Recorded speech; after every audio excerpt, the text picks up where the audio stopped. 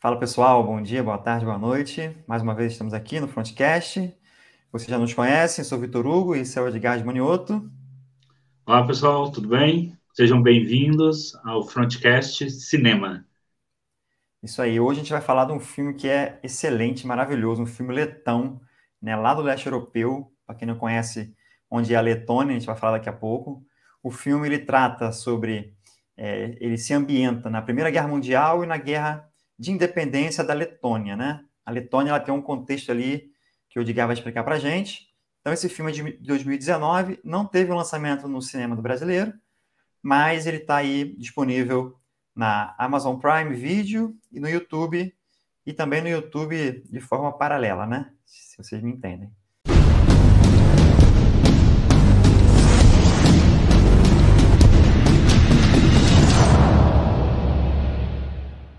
Bom, então agora a gente vai falar sobre o contexto histórico da, da Letônia, né, que é um contexto bem interessante a ser estudado, e vai nos dizer muito sobre o contexto geopolítico de hoje lá no leste europeu, inclusive em relação à guerra da Ucrânia. Mas o Edgar vai passar para a gente, né, Edgar, toda essa, essa parte histórica. Então vamos lá, Vitor, vamos falar um pouquinho, né, gente, sobre a história da Letônia. Primeiro, assim, vamos ver a Letônia, né, onde ela fica, né? A Letônia ela fica numa região conhecida como Bálticos, que também é uma região que muda historicamente. Hoje, os países bálticos são considerados a Lituânia, a Estônia e a Letônia, mas em determinado momento a Finlândia já foi considerada um país báltico. Fica ali no Mar do Báltico, uma região fria, né? É um mar que fica congelado durante um tempo. Uhum. E são três estados pequenos que fazem fronteira com um dos maiores impérios, né, com o maior país do mundo, e que sempre foi um dos maiores impérios do mundo, e um império uhum. expansionista, que sempre foi como todo império expansionista, né? A Rússia sempre se expandiu para além das suas para seja para a Ásia, ou seja ali para a região do Báltico, sempre teve a questão da expansão e muita, muitas guerras ali naquela região. Tá?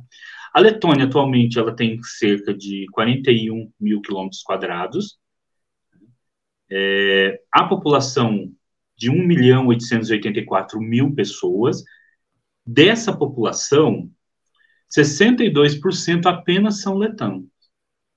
Os 27% é russo e o restante são de outras etnias.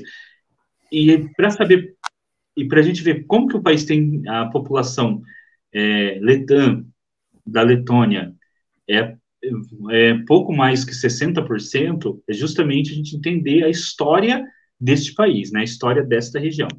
Então, quais são as primeiras referências né, é, da Letônia historicamente? Né, porque até então ali era habitado por povos que não dominavam a escrita.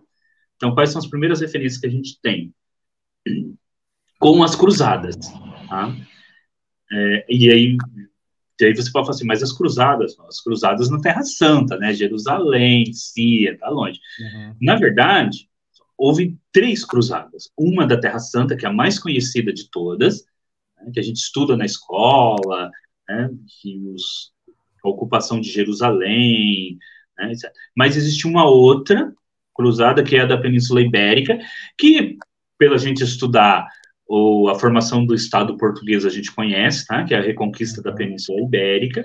Uhum. E uma terceira, menos conhecida, principalmente aqui no Brasil, por nós, for, foram as cruzadas para co, contra os povos pagãos eslavos da região do norte da rua, do, ali da região que hoje são os Bálticos, a Polônia, os Bálticos, né?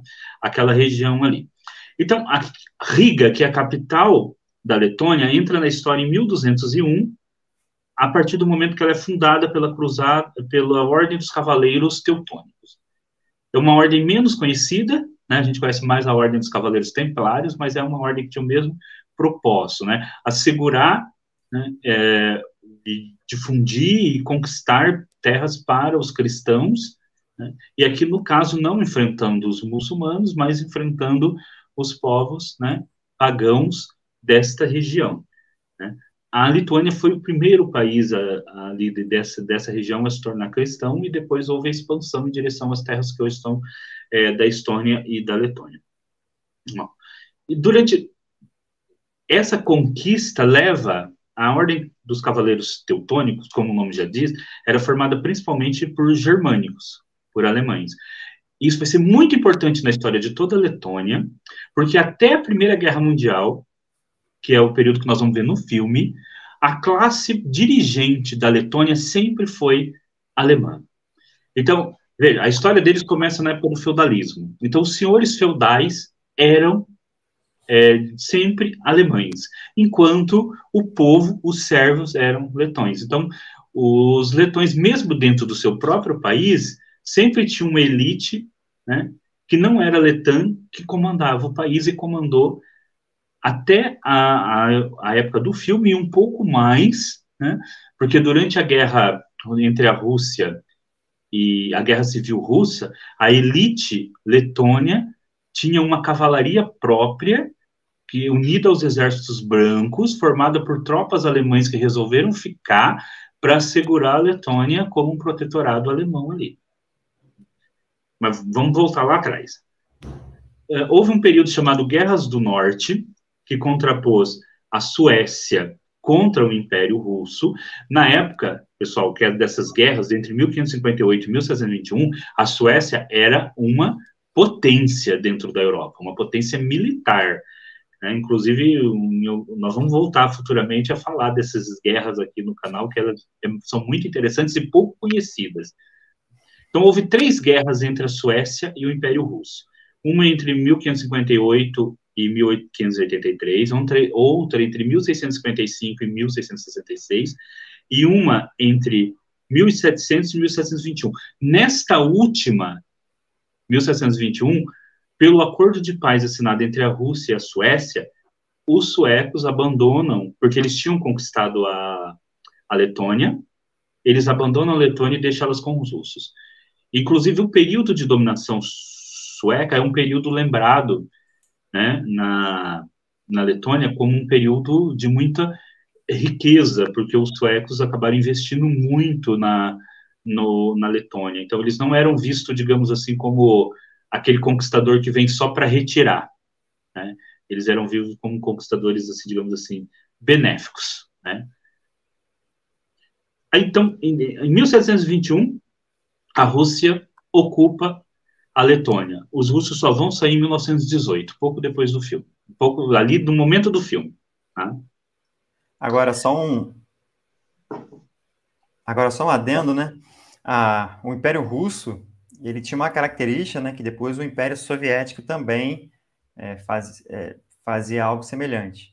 Eles pegavam esses lugares recém-conquistados, colocavam ali a sua população, né, população eslava de origem russa, né, para que aqueles povos, se, as gerações seguintes se identificassem com a terra, porém como russos. Então eles fizeram isso com a, os países bálticos, né, Letônia, a a gente está falando da Letônia, fizeram isso com a Ucrânia, que a gente tem lá todo um contexto que quem está acompanhando aí alguns vídeos nossos já, já viu nossa, o que a gente fala sobre isso. É, a própria Crimeia, né, que eles pegaram, se não me engano, os tártaros, né, e colocaram lá os tártaros para ocupar, para que, que o, o, qualquer sentimento de independência e separatismo seja sufocado meio que naturalmente pelas pessoas que ali vivem, né? Como você falou. 60% são de origem letã, porém os outros, não sei se são todos os 40%, acho que não, né? Não, ah. cerca de 30% é russo, os outros 10% é são outras etnias. Então, esses 30% é, de origem russa, né, ou russos, ou de origem russa, eles se identificam como russos, né? Possivelmente, porque isso é o, é o que tem acontecido lá. Por quê? Porque os russos nunca deixam eles, é, é, entre aspas, assim, para trás, né? tem sempre uma conexão entre os russos e esses povos que estão lá nesses países que já foram ocupados, né? Tanto que é, na questão da Crimeia, na questão até da, do, do Donbass lá, a justificativa que o, uma das justificativas que o, os russos usam é que ali é a, auto, a autodeterminação dos povos, pelo fato de ali ter o, o povo que se identifica como russo, né? E não ucraniano, vamos dizer assim, eles teriam o direito na, dentro da legislação internacional a ter sua própria terra. Isso aí é uma discussão que a gente vai falar outra hora, mas é bom para entender esse contexto aí de independência da Letônia. É, no Cazaquistão também tem muito russo lá.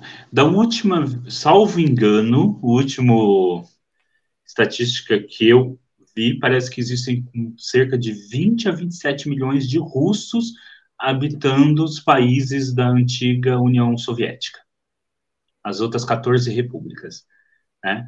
Haja visto o medo que essas repúblicas têm de, de, inclusive países também que faziam parte do Pacto de Varsóvia, que esses uhum. países têm Bulgária, etc., tem dos russos, né? Do, do, assim, não, tem uma minoria ali, vamos pegar aquele pedacinho, tem outra minoria ali, vamos pegar aquele pedacinho, né?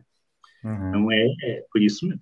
E, e, e é interessante que a Letônia, ela era um lugar muito rico nesse período que nós vamos ver aí do filme. Por quê? A capital da Letônia, Riga, já aí no século XIX, ela era a terceira cidade industrial da Rússia. E a gente sabe que a Rússia é um país que demorou muito para se industrializar, que no século XIX ainda tinha uhum. servo, o último país uhum. da Europa a acabar com o sistema feudal. Né? Mas, assim, ela, ela produzia quase era a terceira cidade industrial e era a cidade russa onde você tinha a questão muito mais da metalurgia e da química. E 92% da população letã era alfabetizada no século XIX, que é muito superior, por exemplo, aqui no Brasil, que eu acho que não dá nem 9%, essa mesma época no Brasil. Né? Era muito superior aqui no é, a nossa aqui.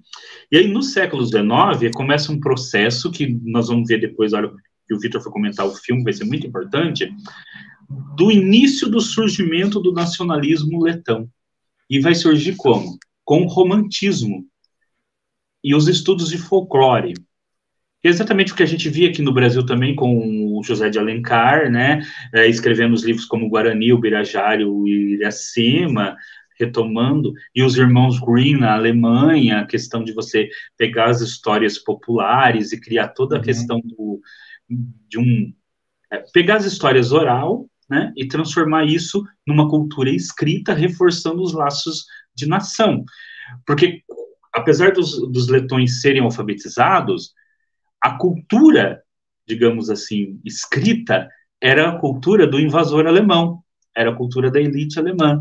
Mas aí, aí existe um movimento folclorista letão que começa a passar aquela cultura popular, aqueles contos, aquela cultura popular letã, para a escrita para surgir uma literatura genuinamente letã. E, e, inclusive, no período soviético, muitos desses escritores, que ali do final do século XIX, começo do século XX, inclusive o autor do filme, que depois o Vitor vai falar quem é para vocês, vai falar um pouquinho sobre a obra literária que inspirou o filme, vão ser perseguidos, porque os letãos vão valorizar muito essa questão da cultura escrita, a partir desse movimento folclorista e romântico do final do século XIX, que existiu em vários países ocidentais, inclusive no nosso. Tá? Aí, só para a gente chegar ali no filme, para o Victor começar a falar do filme. Em 1905 tem a Revolução Russa. Nesse período, até os letães são convidados a participar da Duma, e aí eles conseguem mandar representantes que não são germânicos, mas que são letões mesmo. E ali nasce, apesar da Duma logo ser fechada e eles perderem essa representação, nasce a ideia de, olha, nós podemos ter mais do que, porque até então todos os movimentos na Letônia, eles só queriam mais assim, liberdade dentro, mas eles nem pensavam na ideia de separar da Rússia. Mas a partir de 1905, eles começam a pensar nessa ideia de separar da Rússia. Pode ver, né, que tudo começa com aquela com o, o czar, né, mandando é, agredir pessoas que estavam ali querendo só pão, né? É, ali ele começou, ali ele deu o golpe que vai destruir a Rússia, né? Até os movimentos nacionalistas em alguns, em, em, várias dessas repúblicas vão surgir justamente naquele momento.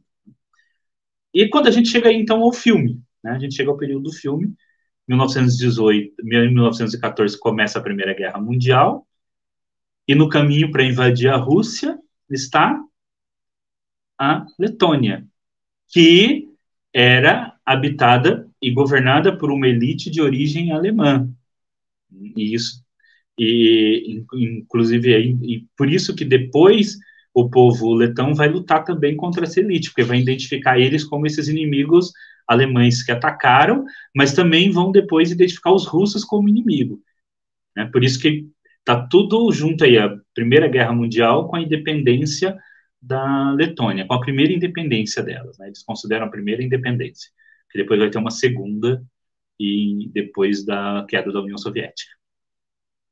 E Vitor, quer falar um pouco sobre o filme, então? Bom, sobre o filme, né, ele é baseado né, no livro né, do, do Alexander Greens, né, não é o mesmo dos irmãos Green, ele se chama Blizzard of Souls, né, Tempestade da, das Almas, é, ele conta as histórias, a experiência do próprio autor, né, nesse contexto aí de Primeira Guerra e, e Guerra de Independência da, da Letônia, né. Ele foi um best-seller, né, foi bem aclamado, é, não à toa que ele foi escolhido pelo, pelos letões para poder é, é, ter a sua representação aí cinematográfica, né.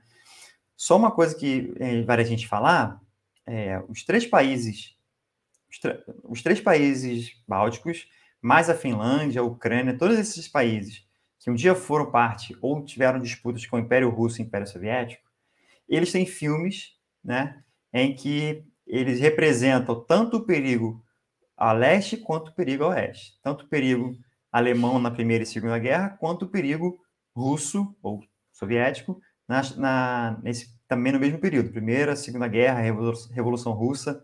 Então, é interessante a gente citar essa questão política do cinema, né? Assim como a gente comenta às vezes que o cinema norte-americano ele é político, né? Por trazer os valores norte-americanos, trazê-los como é, vencedores, como uma máquina de guerra imbatível. No leste europeu, nos países especificamente onde houveram esses embates, né? É, é, nos últimos 200 anos, pelo menos, com os russos e com o, a, a Europa Central, você tem filmes também políticos nesse sentido, de mostrar para a população que eles estão é, a todo momento, né, à beira de um ataque de ambos os lados, né? Não ataque, mas às vezes porque ali são planícies, né, uma grande planície ali a Ucrânia, essa região dos Bálticos, eles são historicamente locais de passagem, nós já falamos disso em outros vídeos, locais de passagem de tropas, tanto leste-oeste quanto oeste-leste, tanto dos russos em direção à Europa Central, quanto dos europeus centrais em direção à Rússia. Tivemos Napoleão, tivemos a Alemanha na Primeira Guerra, tivemos a Alemanha na Segunda Guerra, tivemos é, o Império Soviético vindo, né, a expansão soviética né, do, do socialismo. É, então, esses países eles sempre estão ali no meio de dois gigantes. Né? Então, eles têm essa, essa questão de mostrar no cinema para o seu povo, para que eles não esqueçam de que eles estão são é, vulneráveis, de certa forma, que são países pequenos. Né? Eles têm as suas alianças, os bálticos, os países bálticos, eles fazem parte da OTAN, mas eles têm suas fragilidades né, de território, suas fragilidades de tamanhos de forças armadas, de orçamento de defesa. Né? Não à toa que os países bálticos também estão contribuindo lá financeiramente com, com, com a Ucrânia, né? também equipamentos. E, não oficialmente, com homens também.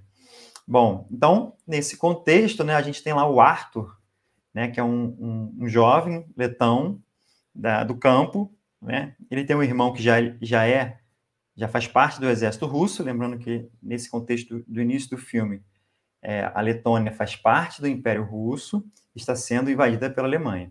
Então, nesse contexto, ele, é, a fazenda onde ele mora, né, a, a invasão alemã chega nessa fazenda onde eles moram, né? E é, é, um pequeno spoiler, mas é no início do filme. A mãe do, do Arthur, ela morre, né? Num, num incidente lá em que um soldado alemão vai atingir o cachorro deles, mas acaba atingindo os, os, a mãe dele. Então, ele e o pai, né, eles fogem, né, eles enterram, enterram os grãos, enterram o, o que eles têm de financeiro que não podem carregar, né, e saem é, direção ao leste, né, para se encontrar no, no território ocupado né, pelo, pelos russos, e eles resolvem se alistar é, do lado dos russos, para combater aí os alemães. A gente vê que no caso do Arthur né, e do pai seria uma questão de, de vingança pessoal, né, né talvez um, uma, uma explicação para o público que na época leu o livro, que agora vê o filme, se sinta mais comovido, né? E no decorrer do filme a gente vai entendendo um pouco como funcionava essa dinâmica né, de ser um destacamento, um regimento letão dentro do, do exército do Império Russo. Tem uma cena em que eles estão é, eles têm todo um treinamento, né? Ali com a gente vê especificamente táticas da Primeira Guerra sendo, sendo ensinadas e em um certo momento eles vão para o, para o campo de batalha e estão cantando, passando por uma cidade letã, com os cidadãos da Letônia lá, né, acenando para eles, e, e, estão cantando um hino né, é, de guerra russo. Porém, um, um dos colegas fala, começa a cantar um hino de um hino nacional, né, de algum cunho nacionalista, não, não chega a ser o, o hino nacional deles, porque ainda não eram independentes, mas um hino de cunho nacionalista letão, e de prontamente um outro soldado chega e, e exorta ele, né? Poxa, é, tá cantando uma música proibida. É o cara fala, dá, meio que dá um desdém, né, Edgar? Fala, ah, mas nós somos letões. E continuam a cantar, né? E o Arthur vai, segue naquela. Então ele vai ter o seu batismo de fogo, né, numa, numa, numa invasão lá à trincheira alemã, né? Então ali ele começa a ver é, a, a, os horrores da guerra, né? Ele vê, vê o primeiro o primeiro combatente sendo morto no campo de batalha, ele ele aprende, né, sobre as, as dificuldades da guerra de trincheira, né? O pai dele é um, um é um soldado experiente, né? Que quando eles se alistam, o pai dele já demonstra lá que tinha experiência militar, né? Não especifica de qual é o, o conflito ali, né? Mas provavelmente lutou pelo lado russo em alguma das suas batalhas de conquistas. E, e, o pai dele, né, com experiência, vira o instrutor da tropa e também um atirador de elite ali da, naquele grupo de combate. É, então, inclusive, só fazendo um adendo aí, quando o pai dele vai se alistar, não era para se alistar por causa da idade, né? Aí o Exato. cara fala, aí ele mostra o documento e fala, é, mas eu já combati durante 15 anos uh, uhum. pelo Império lá e tal, não fala guerra eu achei que era é, a guerra da Crimeia não pode ter sido, né? Porque foi 50 anos antes, mas uhum. algumas guerras ali em torno ele se envolveu. E aí, aí o, o, oficial que está lá fala não pode alistar ele, né? Porque apesar da idade era uma pessoa experiente, né? É experiente. E naquele momento, né? Naquele regimento você tinha poucas pessoas com experiência, né? Então ele foi, ele foi inclusive ele foi fundamental ali, né? Na, em colocar o, o pessoal no na linha e tudo mais, né? Então é um filme interessante que o pessoal vai gostar muito, porque não deixa nada a desejar dos filmes é, do lado de cada da, da cortina de ferro. e muitas vezes. Do lado de cá agora, da cortina de ferro. Verdade. Não, é que eu estou falando é, pensando num contexto aí ainda soviético, né? De... né? A gente está pensando, a gente pensa muito no filme americano. É. Não, mas não, os efeitos uma... especiais são muito bons. Sim, mas foi uma, uma provocação proposital, falando do lado, pensando do lado de cada cortina de ferro, porque justamente por conta da Guerra Fria, nós não tivemos muito acesso ao cinema, a, ao cinema do leste europeu, né? Só depois da, da, da queda do muro que muitos filmes vieram para cá, né? E depois do, do, advento da internet aí se popularizando, que a gente, que quem tem, teve a curiosidade buscou filmes daquela região, né? Então, a, continua sendo assim meio que obscuro aqui sim para os brasileiros é, esse cinema que é um cinema que é muito rico, né? Que, que tem superproduções de diversos estilos, né? E que a gente, no Brasil, a gente consome muita coisa da onde? É, é França, muitos filmes franceses, alemães e da Grã-Bretanha. É o máximo que a gente, né? Talvez espanhóis, né? Pedro Almodóvar, alguns, Pedro, Pedro Almodóvar, alguns filmes de suspense espanhóis, né? Mas é o máximo ali de, da Polônia para lá, a gente não tem muita tradição, inclusive dos nossos cinemas, né, de passar essa, essas películas. É, eu lembro só que nos anos 90 a TV Cultura passava os contos de fadas russos, né? Passava as versões russas dos contos de fadas, assim, os longa-metragens russos de contos de fada. Legal. É, agora imagina, é, então, num contexto pós-Guerra Fria, né? Se isso acontece é, aí na. Guerra Fria é antes da Guerra Fria, alguém ia lá bater na porta da agricultura, falar, meu o que está acontecendo aí? Vamos conversar. O que, que essa Rapunzel comunista está fazendo aí? Porque está dando espaço para a cultura comunista e não para a cultura ocidental, né? Que é, na verdade era isso, né? O que a gente tinha que aprender era a cultura ocidental. É o, é o contexto que a gente tinha na época. É, Mas então... você falou da. Só rapidinho, desculpa te cortar. É, das trincheiras Assim, eu, eu vi, assim, eu gostei muito de, assim, de como da estética do filme, né? falando assim da estética, de como eles reconstruíram as trincheiras, as batalhas. Eu acho que nisso não fica nada a dever do que a gente vê aí no filme, no cinema norte-americano. Tá? das cenas de batalha, tem inclusive a primeira cena do filme começa com uma batalha na floresta, né? Tem aquela coisa do. De, que é muito tipo de filme americano também, né? Começa assim na frente e depois vai voltando tudo contando a história, né? Uhum. E a primeira cena que você vê a batalha também não fica nada a dever filme americano, porque eu, eu vejo que às vezes as pessoas têm muita resistência de assistir esses filmes, falam assim, ah, vai ser aquele filme europeu, lento, né? Estilo daquele filme francês que a gente assiste na faculdade, né? Que agora o filme tem duas horas, parece que tem 22 horas. Não, é um filme bem é bem calcado já nessa tradição hollywoodiana. É um filme que as coisas acontecem mais rápido, com cenas de batalhas bem legais, então pode assistir sem medo. Não é um filme cult, né? É um filme para o grande público. Né? É um filme de guerra para o grande, grande público que não deixa nada a desejar para os filmes é, de Hollywood ou do cinema aí britânico, né? É, de guerra. É, então, né, é um filme que é, é imperdível para os amantes de filmes de guerra ele vai abrir os horizontes sobre os outros, para quem não acompanha, né, os filmes do leste europeu e, e, da Ásia e da América Latina, vai abrir, vai abrir seus horizontes para você entender também que nesses lugares também se fazem filmes de qualidade. Mas pensando ainda no contexto histórico, né, que é o, talvez o nosso foco principal, essa questão aí de, como eu falei, né, de ser um povo que está ali entre a Rússia e a Europa Central, né, a gente pode entender hoje, no contexto de hoje, que não mudou muito, né, Edgar? Eles ainda estão sob esse contexto da OTAN e a Rússia, né?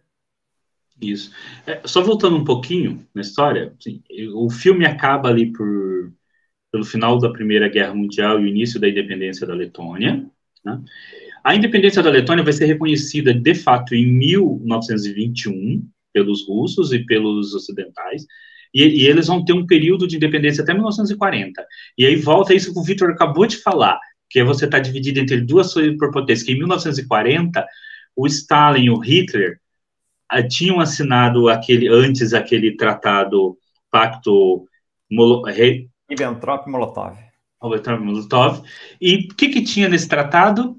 Justamente a divisão da região entre os soviéticos e os alemães. Então, quando a Alemanha invade a Polônia, os alemães estão invadindo a Polônia de um lado, mas os soviéticos estão invadindo do outro. E os soviéticos aproveitam também, invadem a Letônia, a Estônia e a Lituânia e conquistam esses três países. Então, mais uma vez, esses países estão ali, ó, ameaçados por essas duas grandes potências e foram e, com esse e com o pacto né, entre os soviéticos e os nazistas eles foram divididos no entanto que nesses países eles têm principalmente na Polônia né, tanto o nazismo como o comunismo são proibidos né? uhum. você levanta você usar o símbolo nazista e usar o símbolo soviético ambos são proibidos nesses países por causa disso né são os dois inimigos né, que eles né? dois inimigos e aí de, de 1940 até 1990, esse, a Letônia, Estônia e, e a Lituânia estão sob o domínio soviético. Então, e nesse período, há uma grande resistência nesse país, principalmente ligada às bandas de rock e ao neopaganismo. É uma volta do paganismo. Tá?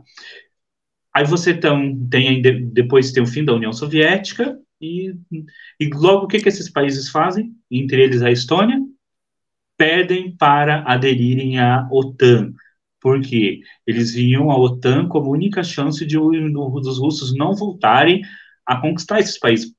Eu vejo assim que eles perceberam que ali a Rússia estava em frangalhos, final do comunismo, todo aquele processo com Boris Yeltsin. Mas se eu fosse é, letão, eu ia imaginar, olha, uma hora se não vai um, daqui 10, 15, 20 anos a Rússia se recupera, eles podem olhar para nós de novo e falar, mas vamos, vamos voltar para casa, queridinhos, vamos voltar para casa. Então foram foram o quê? Para a OTAN. Aí eu vejo que muitas pessoas criticam o expansionismo da OTAN. Se você se você olhar pelo lado da Rússia, é o expansionismo da OTAN. Se você olhar pelo lado americano, são os americanos alfinetando russos e fazendo expansão. Mas se você olhar pelo olhar desses países, dos lituânios, dos letões, Olha, se eu fosse letão, eu ia querer ir para a OTAN também. Eu com certeza ia falar, não, vou lá para a OTAN. Uhum. Né? Eles, no máximo, vão querer que eu envie alguns soldados para lutar no Afeganistão, no Iraque, às vezes, uhum. e colocar uma base militar aqui, enquanto os russos podem querer reconquistar o país. Então, e essa é a situação lá hoje, né? A situação uhum. é que hoje eles fazem parte da OTAN e eles veem isso como uma segurança de que a Rússia não vai fazer a mesma coisa, por exemplo, que está fazendo agora com a Ucrânia, já que 30% da população, que é muito mais do que da Ucrânia, acho que da Ucrânia não dava nem 10% da população ucraniana é russa, 10, 15%. Da Estônia, da Letônia, é 30%. Então, essa minoria russa, em determinado momento, poderia falar, pedir né, para uhum. se separar um pedaço do país, ou uma intervenção russa para assegurar os seus direitos. O que acontece também na Moldóvia, onde você tem ali a Transnistria, que é, um, que é a parte da Moldóvia habitada pela maioria russa, e que tem tropas russas lá na Transnistria, apesar de ninguém reconhecer como um país independente. Então, uhum. esses países, eles têm mesmo essa questão de, de ser, de ressalvas contra a possível expansão dos russos dentro dos seus territórios, justamente com a desculpa de, de ir buscar essas minorias, que, como o Vitor disse, os czares faziam isso, mas o regime soviético também fez muito. De, inclusive, a maior parte da população russa que foi para a Estônia não foi durante o regime do czarista, foi durante o regime é, soviético. Uhum. É, e é interessante a gente falar também que nesses locais, né, é, acendeu um alerta, né? A invasão da Rússia ela acende um alerta para todos os países que tiveram esses problemas com, a, com, com os russos, né? Sejam czaristas, sejam soviéticos. É, a gente teve a, a Finlândia entrando para a OTAN, a Suécia perdendo a sua, não perdendo, mas deixando de ser é, neutra, né? Você até fez um vídeo sobre isso, historicamente neutros, deixando de ser, e esses países, eles é, provavelmente, né? Algumas forças nacionalistas estão com o pé atrás com essas populações historicamente russas, né, de etnia russa. Então isso pode ser um, já pode estar tendo um problema lá de desconforto, né, e de acusações é, em relação a essa, essa, população, porque eles podem ser até considerados potenciais, né, inimigos do futuro, né. Então espiões, coisas do tipo, né. É, então é algo que a gente pode observar e, e lembrar, né, que novamente o cinema ele tem tem representado a realidade, né? O cinema não é apenas um entretenimento, como é, por exemplo, os filmes, os, os desenhos que nossos filhos assistem, né? Que é, é puro entretenimento. Não, o cinema mundial ele tem um viés político, né? Ele tem uma um, um, mensagens a serem passadas e que são passadas muitas vezes de maneiras muito claras, né? Como é, por exemplo, esse filme que a gente está analisando agora.